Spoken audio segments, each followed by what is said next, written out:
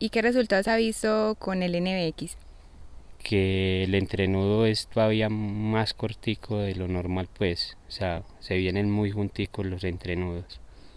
O sea que tenemos más carga por cortina. Eh, y con el Stimulate, ¿cuándo lo aplica? Eh, yo se lo aplico cuando hacemos la poda calavera. Al mes de hacer la poda calavera echamos Stimulate. ¿Y ha visto eh, qué resultado con el producto? No, pues que el crecimiento de eso y, ayuda a brotar más todavía los tallos.